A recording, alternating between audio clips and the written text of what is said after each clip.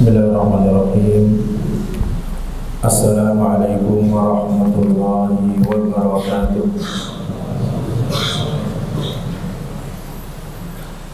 إن الحمد لله نحمده ونستعينه ونستغفره ونعوذ بالله من شرور أنفسنا ومن سيئات أعمالنا. من يهده الله فلا مضل له ومن يضلل فلا هادي له. وأشهد أن لا إله إلا الله وحده لا شريك له وأشهد أن محمدا عبده ورسوله. صلى الله عليه وعلى آله وصحبه ومن تبعهم بإحسان إلى يوم الدين. Amma ba'd Pada para jamaah Salat zuhur yang senantiasa dimuliakan oleh Allah Subhanahu wa taala. Kepada para santri, para asatidah, para hadirin yang senantiasa berbahagia yang pertama kali marilah kita panjatkan puji dan syukur kita kehadirat Allah Subhanahu wa taala.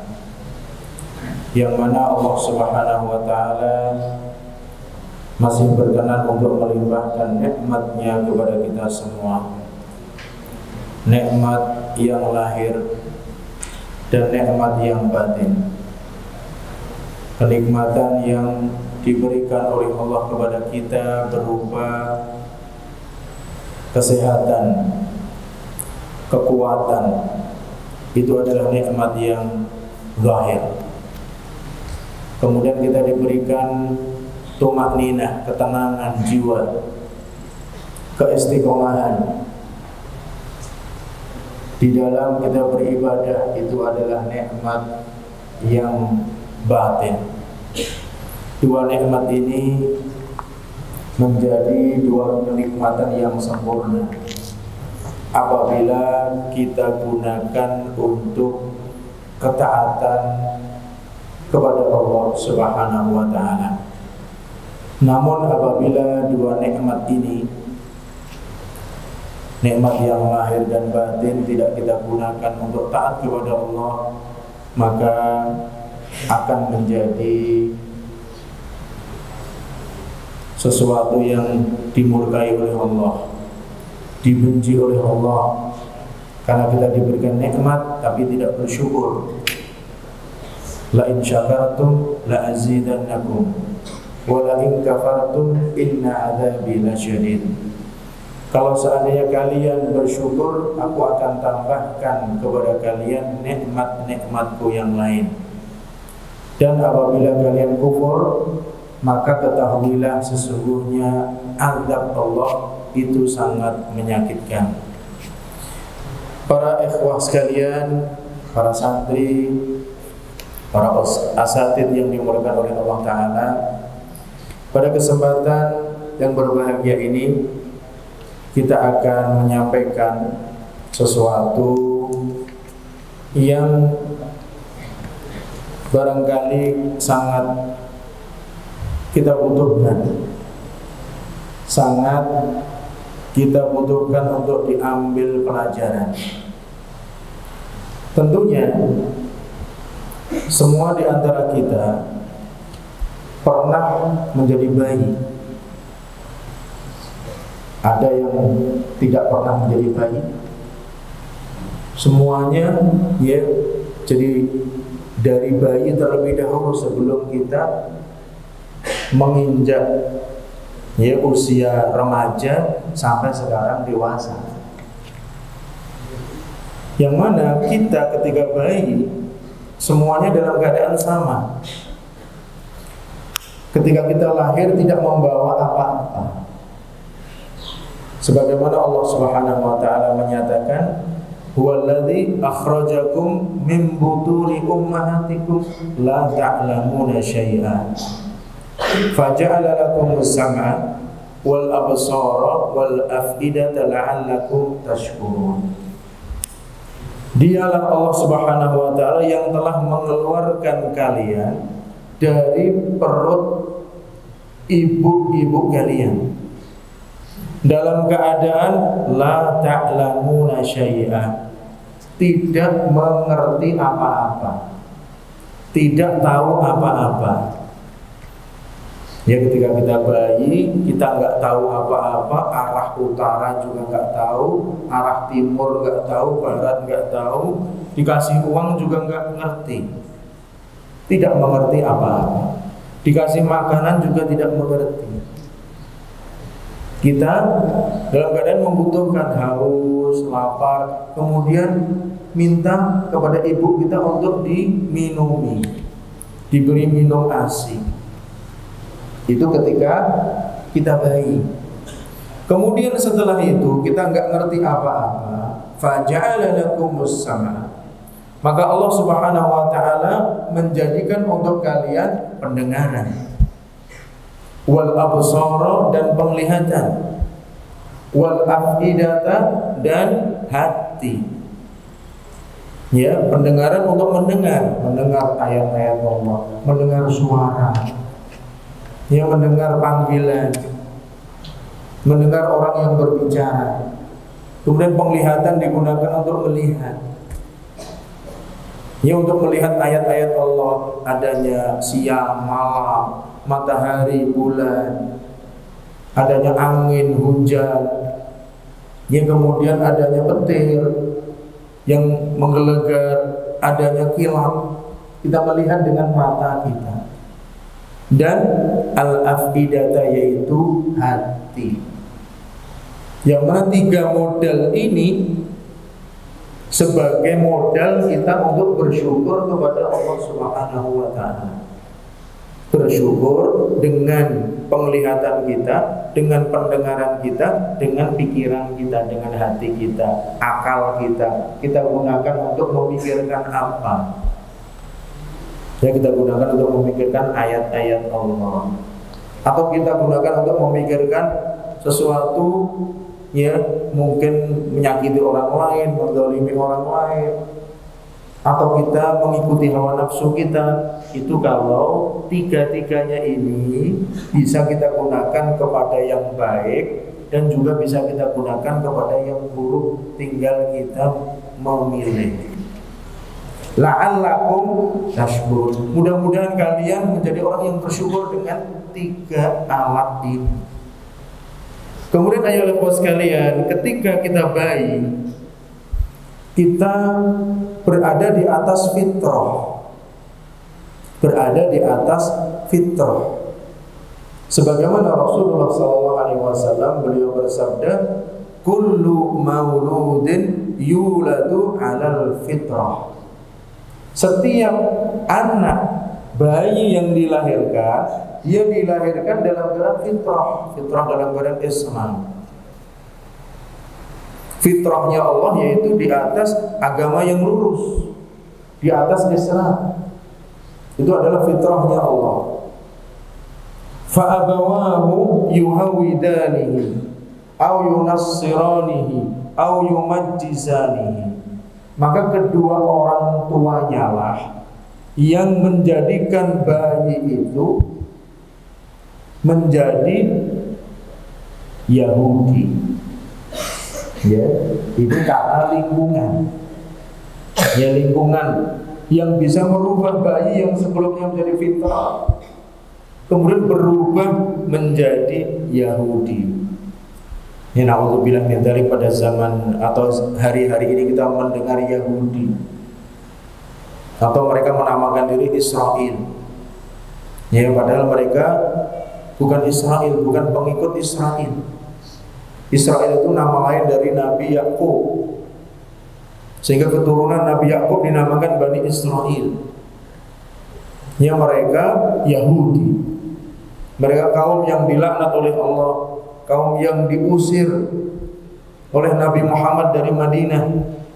Karena mereka menyelisihi janji, mereka tidak jujur, mereka berkhianat, mereka ingin membunuh Nabi. Karena dahulu Yahudi itu Bani Israel membunuh Nabi makan riba. Kemudian mereka suka hasad itu sifat-sifat Yahudi dengki. Mereka mengatakan nahnu abna'ullahi wa ahibba'u kami ini anak-anak Allah dan kekasih-kekasih Allah. Yang selain Yahudi mereka anggap rendah semuanya. Di Yahudi itu seperti itu. Dan mereka mengkhususkan agama Yahudi untuk mereka saja tidak mau ada orang lain masuk agama Yahudi kecuali Yahudi itu sendiri karena mereka menganggap ini kita kekasih Allah. Kita orang-orang yang dicintai Allah, kita anak-anaknya Allah, pilihan-pilihan dari Allah. Mereka berdusta atas nama Allah Subhanahu wa taala. Itu. Kemudian yang kedua, au yunassiranihi atau orang tuanya lah yang menjadikan anak itu sebagai Nasrani. Ya, Nasrani menyembah kepada tiga Tuhan. Tuhan Bapa, Tuhan Ibu, Tuhan Anak. Au yumajjisanihi atau kedua orang tuanya itu yang akan menjadikan majusi agama yang menyembah api. Karena mereka mengatakan api itu adalah sumber kebaikan. Mereka menyembah api. Jadi ini pengaruh dari orang tua dan lingkungan yang menjadikan bayi itu yang asalnya fitrah kemudian menjadi berubah dari fitrah dan alhamdulillah apabila kita sekarang masih Islam kita berada di atas fitrah kita ya, memuji Allah Subhanahu wa taala di atas agama yang lurus, di atas agama Islam. Alhamdulillahilladzi hadana li hadza wa ma kunna linahtadiya laula an hadana Allah. Kemudian ya sekalian, bayi yang sesuai dengan fitrah itu pada asalnya bayi itu nggak bisa apa-apa, nggak bisa bicara. Tapi disebutkan di dalam Al-Quran dan hadis ada tiga bayi yang bisa bicara. Tiga bayi yang bisa bicara. Jadi bayi itu ketika kita kecil bisa bicara nggak ketika kecil? Punya adik kecil no? Kalau di telepon bisa? Nggak bisa. Bayi nggak bisa bicara, nggak bisa ngomong. Adik kamu ketika kecil bisa bicara? nggak bisa. Bayi lahir nggak bisa bicara. Tapi ada di dalam Al-Quran dan Sunnah ada tiga bayi yang bisa bicara. Disebutkan di dalam Bukhari dan Muslim rawa asy-Syaikhani. Diriwayatkan Bukhari dan Muslim an Abi Hurairah radhiyallahu anhu dari Abu Hurairah an Nabi sallallahu alaihi wasallam qala dari Nabi SAW beliau bersabda, Lam yatakallam fil mahdi illa salah satu. Tidak ada yang bisa berbicara di dalam gendongan ibunya kecuali tiga orang bayi. Yang pertama Nabi Isa bin Maryam. Ya di dalam hadis ini disebutkan Nabi Isa bin Maryam. Kemudian yang kedua adalah sahibu Juraij. Sahibu Juraij yaitu teman atau orang yang dikisahkan dalam kisah Juraij. Yang mana Juraij ini dikatakan wa kana Juraijun rajulan 'abidan.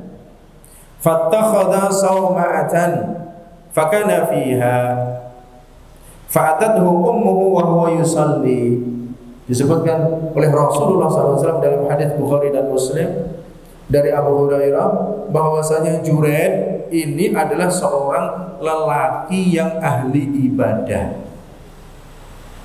Kemudian dia mengambil satu tempat ibadah, Saumiah atau Saumah. Ya satu tempat ibadah rumah atau yang dulu musola atau masjid. Tapi zaman itu belum ya sebelum Islam. Ya dulu sesuai dengan Nabi yang diikuti. Dan tidak disebutkan jurat ini mengikuti Nabi siapa. Apakah Nabi Isa apakah Nabi Musa apakah Nabi yang lain. Jadi ya beribadah kepada Allah Fa'atat ummuhu wa huwa datanglah ibunya sedangkan Jurat ini sholat, senang sholat. Faqalat ya Jurayj dipanggil wahai Jurayj. Faqala ya Rabbi ummi wa salati. Fa'aqbala ala salatihi fansarafat. Dipanggil dia sedang sholat. Ya Allah, aku ini sedang sholat. Ibuku memanggil, kemudian dia, dia teruskan sholat. Fansorofat ibunya pergi. Falamma kana minal ghadi atat huwa huwa yusalli. Kemudian keesokan harinya ibunya datang lagi ke tempat ibadah itu. Sedangkan Jurat sedang sholat. Faqalat ya Jurat, wahai Jurat, Faqala ya Rabbi ummi wa salati ya Allah. Sekarang ada dua pilihan, ibuku atau sholatku. Fa'akbala ala salatihi fansarafat. Kemudian dia tetap sholat, kemudian ibunya pergi pulang. Falamma kana minal ghadi kemudian hari yang ketiga atatu wa huwa yusalli ibunya datang lagi sedangkan Juret ini sedang sholat. Faqalat ya Juret wahai Juret ibunya memanggil. Faqala ai rabbi ya rabb Ya Allah Umi wa salati Ibuku memanggil Atau aku teruskan sholat. Fa'akbala ala sholati Kemudian dia teruskan sholat Tidak menjawab panggilan ibunya.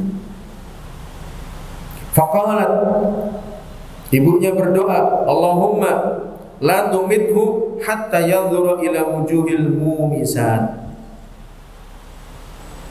Ya Allah Jangan engkau matikan juret ini sehingga dia melihat wajahnya pezina, wanita pezina.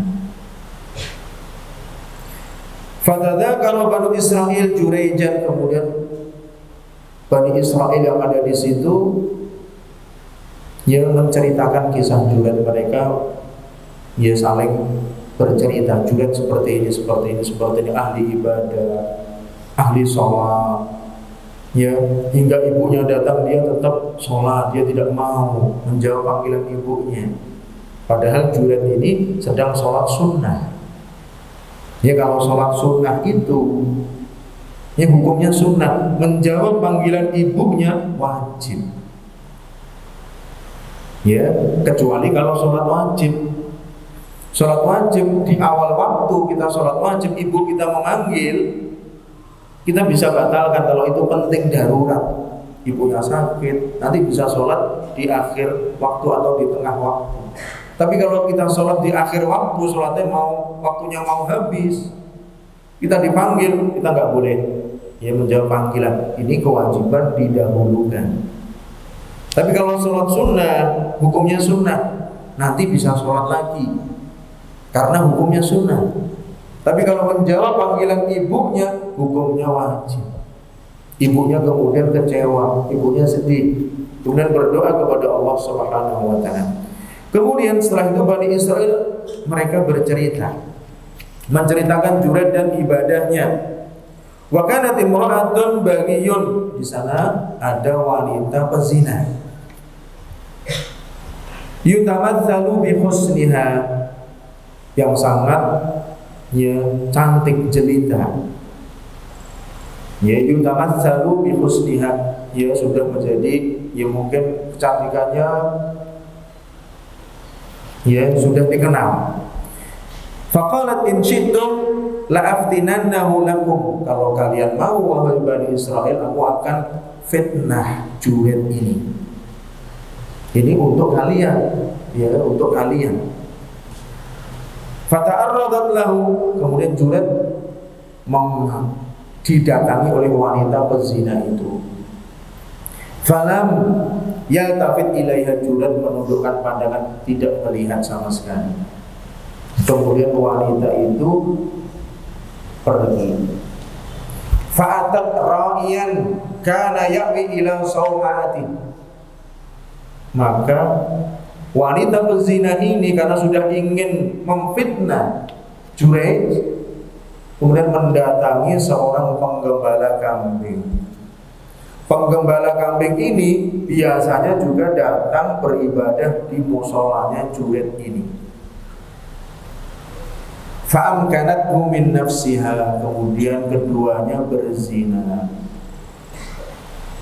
Fawaqa'a alaiha Terjadilah perzinahan Fahamalat kemudian wanita pezina itu hamil Falama waladat qalat huwa min Jurej Ketika melahirkan dia berkata ini anaknya Jurej Fa'adahu fastanzaluhu. Mereka Bani Israel datang kepada Junaid kemudian menurunkan kepercayaannya. Kamu sudah nggak bisa dipercaya marah-marah. Wahadamu sauma'adah kemudian dirusak musolanya tempat sholatnya dirusak dibongkar semuanya dihancurkan. Wajahalu yadribunahu kemudian mereka beramai-ramai memukuli Junaid Junaid itu dipukuli. Faqala ma sya'nukum ada apa ini? Kalian datang kepadaku kemudian merusak tempat sholatku dan kalian memukuli aku. Qalu zanaita bihada bihadhil bagi fawaladat minka. Kamu telah berzina dengan wanita ini. Dia telah melahirkan anakmu. Faqala aina sabi? Kemudian Jurat bertanya, mana anaknya? Anak kecil itu mana bayinya mana? Faja'u bihi kemudian mereka datang, ini anak kamu.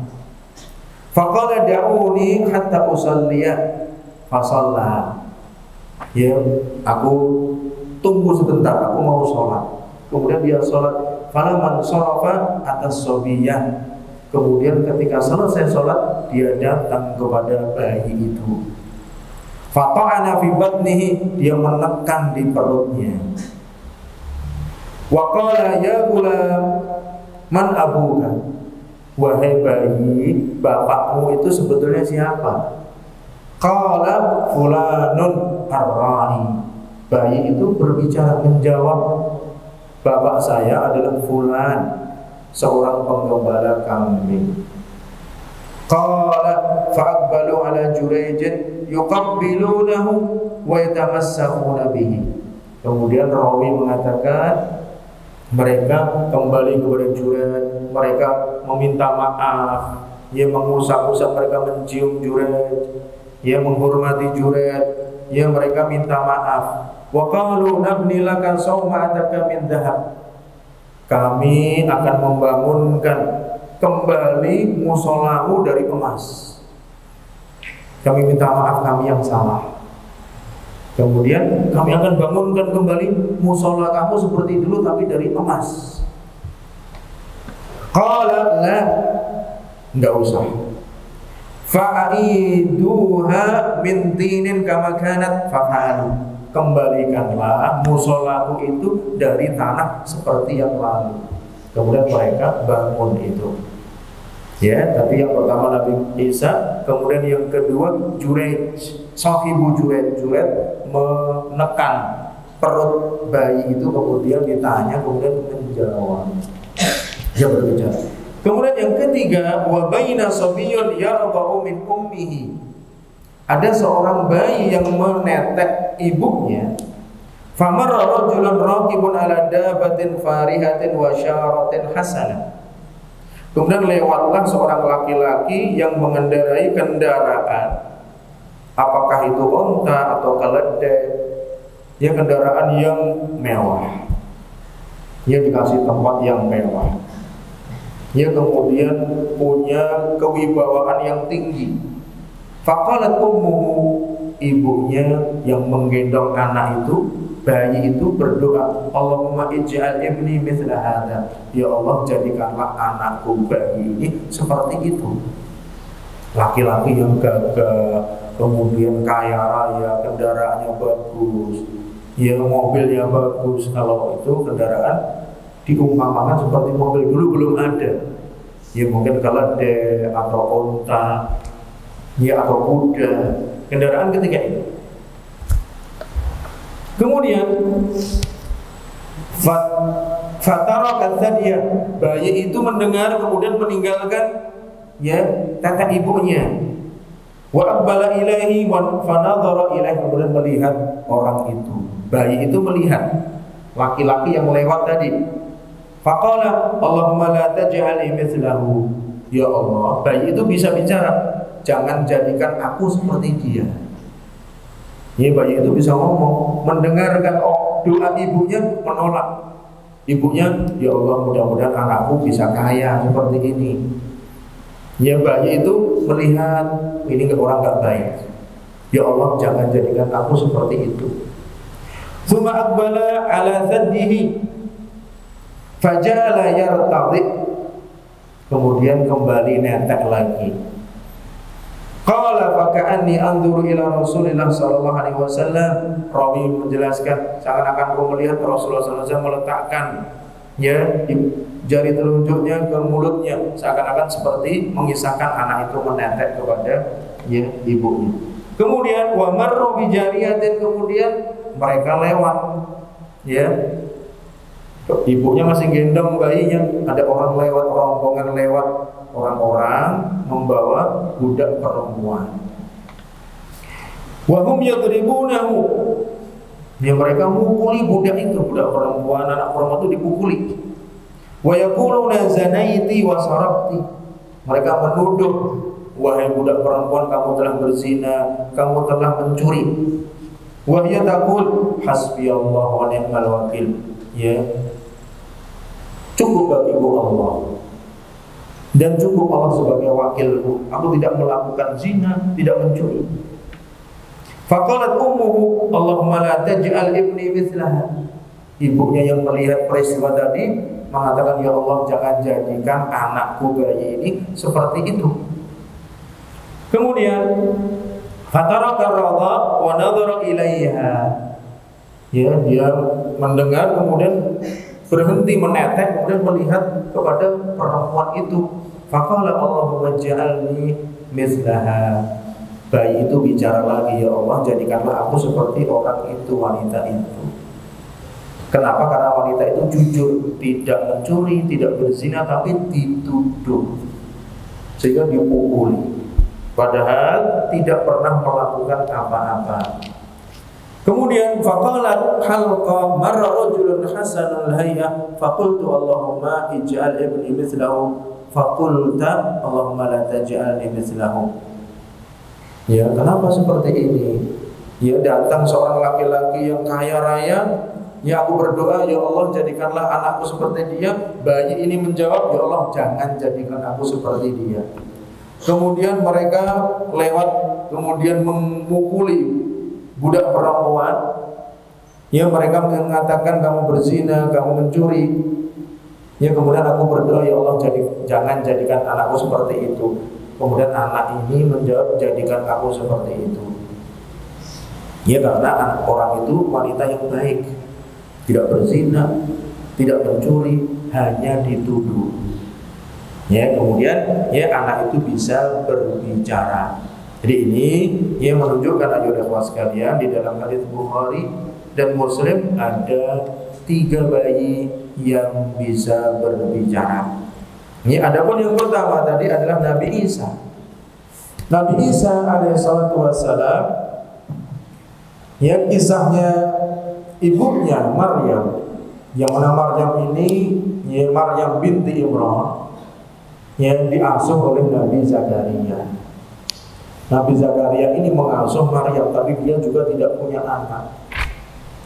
Dia usianya sudah tua, Inni wa hanal azmu minni wasta'ala ra'su syaiba falam akun bidu'ai rabbika syaqiya. Ini aku sudah tua, putih semua ubanku. Kemudian tulang-tulangku sudah lemah. Tapi aku enggak putus asa. Ketika berdoa kepada Allah, meminta kepada Allah, ya, istrinya juga sudah tua.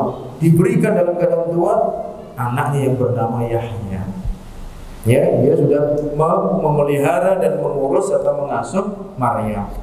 Yang mana Maryam ini? Yang dikatakan ya, ketika masuk di mihrab, kullama dakhala 'alaiha Zakaria al-mihrab wajada indaha rizqa. Ketika setiap kali Nabi Zakaria masuk ke mihrab tempat ibadahnya Maryam, wajada indaha rizqa, ada makanan. Ini musim panas, makanannya musim dingin. Kemudian pada musim dingin, makanan musim panas. Ya, ya, ya. Ditanya ini dari siapa? Kalau hada min indillah ini dari sisi Allah Subhanahu wa taala. Allah memberikan rezeki kepada orang yang dikehendaki tanpa batas.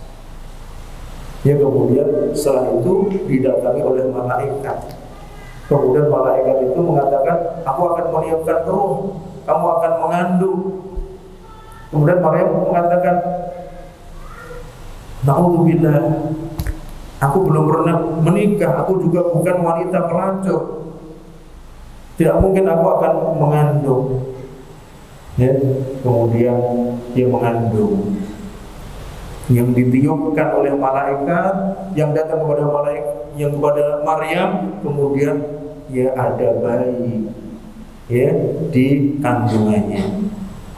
Kemudian ya ketika itu heboh dari Bani Israel, ya ini Maryam wanita yang suci katanya, ya betul wanita yang ahli ibadah. Kenapa dia mengandung tanpa menikah? Ya kemudian dituduh ini adalah berzina, ini adalah bahagia dan seterusnya. Kemudian ketika ya melahirkan datanglah kepada Bani Israel yang kemudian menunjukkan ini bayi.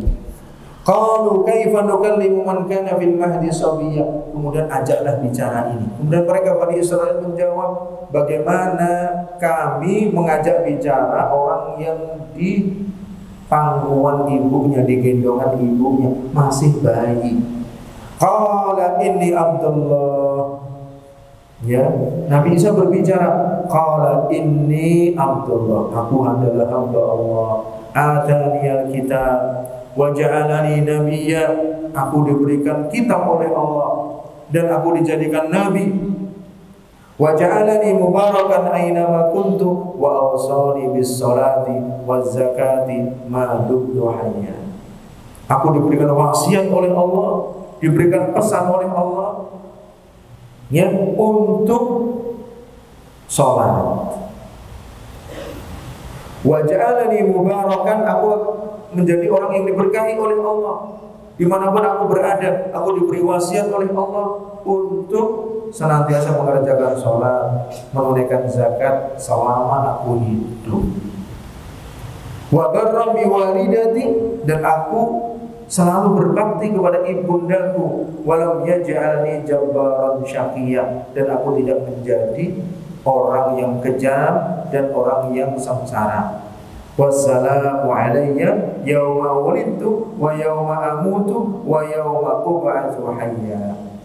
Keselamatan bagiku bayi itu masih bicara. Ya ini yang di, yang dibicarakan oleh Nabi Isa. Panjang ini Abdullah atani alkitab wa ja'alani nabiyya wa ja'alani mubarakan aina ma kuntu wa awsani bis salati waz zakati ma dumtu hayya wa barram bi walidati wa lam yaj'alni jabbaran syaqiyya wassalamu alayya keselamatan untukku pada hari aku dilahirkan yauma wulidtu wa yauma amutu dan nanti pada hari aku mati yaitu diangkat ke langit Nabi Isa diangkat oleh Allah ke langit, diwafatkan yang dengan maksud adalah ditidurkan untuk diangkat ke langit. Nanti Nabi Isa akan turun di akhir zaman. Sekarang masih di langit. Wa yawma amutu wa yawma ub'atu hayya. Ya pada hari yang aku akan dibangkitkan dalam keadaan hidup. Jadi Nabi Isa ini berbicara pertama kali dengan ya tauhid ini Abdullah aku adalah hamba Allah. Ya kemudian dengan risalah yang mana Allah mengutus Nabi Isa ini nanti akan menjadi seorang Nabi dan Rasul. Ya kemudian ya itu yang pertama, yang kedua kisahnya Jureid, ya dia sholat, ya rajin sholat, yang mana sholatnya adalah sholat sunnah. Ya dia salah karena tidak menjawab panggilan ibunya sampai tiga kali. Ibunya marah, kecewa, dan ibunya benar.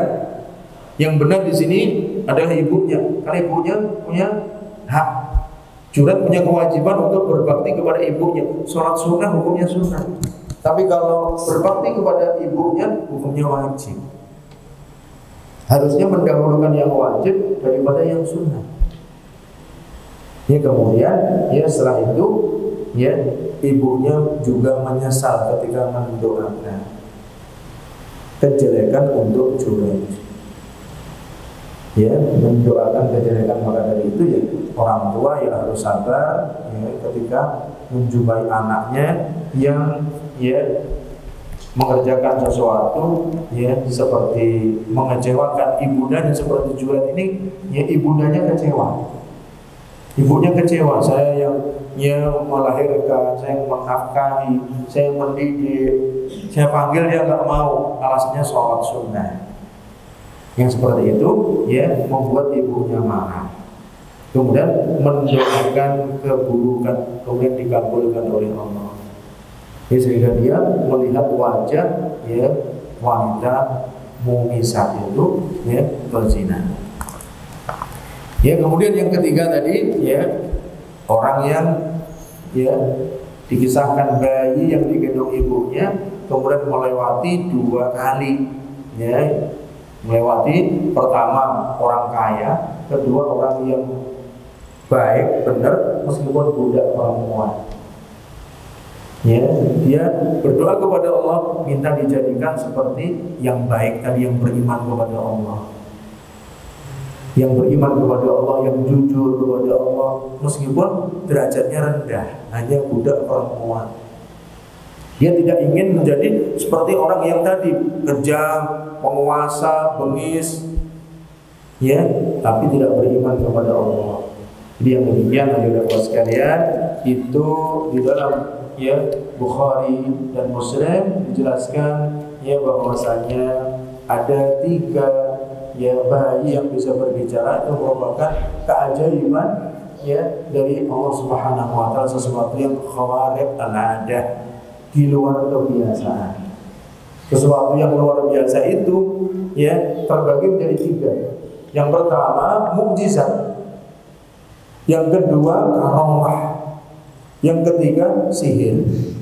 Jadi yang sesuatu yang luar biasa terbagi menjadi tiga mukjizat Nabi. Mukjizat Nabi di dalam Al-Quran disebut ayat, bukan mukjizat tapi ayat. Kemudian yang kedua karomah. Ya karomah itu terjadi pada wali, tapi bukan Nabi. Seperti Khadir mendapat karomah. Ashabul Kahfi mendapatkan karomah ya bersembunyi di gua 309 tahun. Ya hidup ditidurkan oleh Allah. Ya tidak mati kemudian bangun kembali. Karomah. Karomah itu sesuatu yang luar biasa. Diberikan kepada walinya Allah. Yang mana walinya Allah tidak setiap wali diberikan karomah. Ya mungkin banyak di antara wali-wali Allah tidak ada karomah. Tapi karomah kepada wali itu menunjukkan kebenaran Nabi yang diikuti sebagai ayat bagi Nabi yang diikutinya. Ya, setiap mukjizat yang diberikan kepada nabi-nabi yang terdahulu Nabi Muhammad memiliki. Ya Nabi Muhammad memiliki. Contohnya Nabi Ibrahim dilemparkan ke dalam api dibakar tidak mati. Ini tidak terjadi pada Nabi Muhammad. Tapi terjadi pada umatnya Nabi Muhammad. Ya umatnya Nabi Muhammad yaitu Abu Muslim Al-Khawlani dari Yaman ya dia berjumpa dengan nabi palsu yang bernama Al Aswad Al Anasi Al Aswad Al Anasi ini mengeluarkan api untuk membakar Abu Muslim al-Khawlani. Ketika itu dibakar sama Nabi palsu Abu Muslim al-Khawlani ya seorang tabi'i dia sudah masuk Islam di sana di Yaman tapi tidak pernah berjumpa dengan Nabi. Datang ke Madinah Nabi sudah wafat. Ya, tidak mempan, dibakar tetap hidup. Ini karomah. Ya karomah yang diperoleh Abu Muslim al ini dia pengikut Nabi Muhammad. Kemudian Nabi Musa contohnya diberikan mukjizat bisa menyeberang laut ya Nabi Muhammad tidak diberikan tapi umatnya ada yang seperti itu ya Al-Ala Al-Hadrami seorang sahabat bersama pasukannya menyeberang sungai menyeberang laut ya kemudian naik kuda tidak jatuh tidak nyetenggelam ya demikian juga ya saat bin Abi Waqqas menyeberang sungai Dajlah yang bisa menyebabkan sungai Dajjal tidak tenggelam. Ini karomah. Karomah wali ya menunjukkan mujizat Nabi yang diikuti. Ya, maka dari itu dulu ya karomah itu tidak diberikan kepada setiap orang. Sahabat Abu Bakar diberikan karomah. Ya, sahabat Abu Bakar dia mengetahui istrinya hamil. Anaknya ini akan lahir perempuan padahal belum ada alat ketika itu maka lahirlah perempuan Abu Bakar mendapatkan ini wahyu dari Allah Subhanahu wa taala berupa karomah mengetahui diberikan ilmu oleh Allah. Kemudian Umar bin Khattab ketika khutbah Jumat ya ketika khutbah Jumat Umar bin Khattab kemudian berbicara memerintahkan pemimpin pasukan yang ada di Irak. Ya, pemimpin pasukan yang ada di Irak itu mereka ya dipimpin oleh Sariyah Ibn Zanim, namanya Sariyah Ibn Zanim ada di Baghdad, ya di Irak. Ya kemudian ketika Umar bin Khattab khutbah, dia melihat Sariyah ini ya dan pasukannya dikepung oleh musuh. Kemudian dia mengatakan, Ya Sariyah al-Jabal Wahai Syariah, kamu naiklah ke bukit ke gunung. Kemudian Syariah yang di sana mendengar ucapan dari Abu Bakar As-Siddiq. Ya, Umar bin Khattab, ya bukan Abu Bakar As-Siddiq, Umar bin Khattab ketika khutbah. Di sana mendengar kemudian naik di gunung, kemudian di sana menang. Ya, terbebas dari musuh. Ya, Umar bin Khattab diberikan karomah. Sesuatu yang luar biasa. Dan ini ya karomah dari wali. Kemudian yang ketiga sihir dari tukang sihir, paranormal, dukun. Dia bisa ya mungkin ya di pedang dia tidak tembus tapi sihir. Untuk membedakan wali dengan tukang sihir bagaimana? Lihatlah amalannya. Tukang sihir dia nggak pernah sholat, nggak pernah baca la ilaha illallah, dia nggak pernah ya beribadah kepada Allah, dia kufur kepada Allah ini sihir. Kalau ada orang yang bisa terbang, ada orang yang bisa menyelam, ada orang yang bisa menghilang, lihatlah amalannya. Dia walinya Allah atau walinya setan. Oh dia nggak pernah sholat. Oh dia selalu ya e, meminta kepada jin, kepada makhluk halus. Dia walinya setan. Jadi sesuatu yang luar biasa, ya tadi luar biasa semua bisa bicara. Ya tadi, ya yang pertama Nabi Isa, kedua Sohibul Juraj. Kemudian yang ketiga bayi yang digendong ibunya. Ya ini suatu yang luar biasa bisa terjadi ya dengan izin Allah Subhanahu wa taala untuk ya menolong agama Allah. Ya untuk menguatkan orang yang diberikan karomah tersebut. Ya maka dari itu ya Bapak sekalian, kisah ya tiga bayi yang bisa berbicara yang mana ya itu sudah kita sebutkan semua penjelasannya ya Nabi Isa kemudian Sofi Bujurain dan wanita yang digendong ibunya yang dilewati dua kali oleh ya orang lain. Ya mudah-mudahan Allah Subhanahu Wa Taala bisa memberikan ya manfaat dari kisah ini ya bahwasanya ya kita dulu bayi berada di atas fitrah, mari kita jaga fitrahnya. Ya, mari kita jaga kefitrahan kita di atas agama Islam, di atas keistiqomahan, ya di atas petunjuk dari Allah yaitu Al-Qur'an dan sunnah Rasulullah Sallallahu Alaihi Wasallam. Ini jangan terpengaruh dengan lingkungan, terpengaruh dengan teman-temannya, terpengaruh ya dengan e, dunia maya, terpengaruh dengan masyarakat yang ya barangkali kita belum tahu ya mana yang baik dan yang buruk.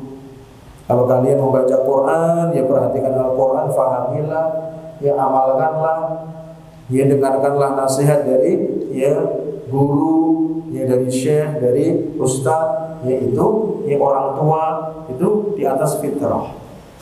Ya sekarang lingkungan banyak sekali yang bisa mempengaruhi kita. Maka dari itu, ya ikhwas sekalian ya, hendaknya kita senantiasa berpegang kepada agama Allah Subhanahu wa taala. Ini yang bisa kami sampaikan. Wassalamualaikum warahmatullahi wabarakatuh. Wa ala alihi wa sahbihi ajma'in wa akhiru da'wana alhamdulillahi rabbil alamin. Wassalamualaikum warahmatullahi wabarakatuh.